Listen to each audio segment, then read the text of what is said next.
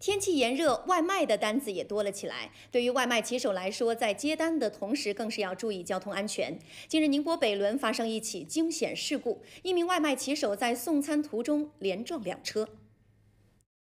公共视频显示，一名外卖骑手在通过路口时完全不顾信号灯，闯红灯穿越正在等待通行的车队，结果因为视线阻挡，和一辆正常直行的出租车相撞。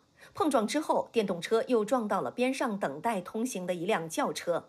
电动车撞完出租车以后反弹回来，车子又撞到特斯拉，刚好让外卖骑手的身体撞到特斯拉身上，所以导致该外卖骑手没有摔倒，没有造成很大的伤害。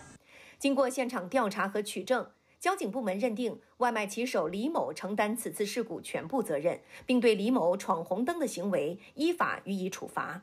他要承担的是，呃，两辆车的维修费用，以及出租车的有一个误工费，然后再加上他自己的电电动车，大概费用将达到预估应该是五万块左右。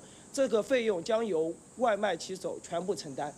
电动自行车闯红灯的违法行为一直以来屡见不鲜，由此引发的交通事故也不在少数。对于个别外卖骑手来说，明知闯红灯不对。但有时候为了抢时间送订单，遇到没有交警执勤的路口，还是会抱着侥幸心理在车流中随意穿梭，最终为自己的任性行为付出代价。